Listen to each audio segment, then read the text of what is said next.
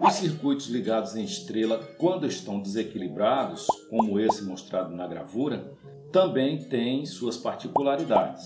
O que caracteriza o desequilíbrio são as potências diferentes em cada uma das fases. Ao aplicarmos tensão no circuito trifásico desequilibrado, é óbvio que essas fases que atendem cargas diferentes terão correntes com valores diferenciados equivalentes a cada potência atendida pela fase em questão.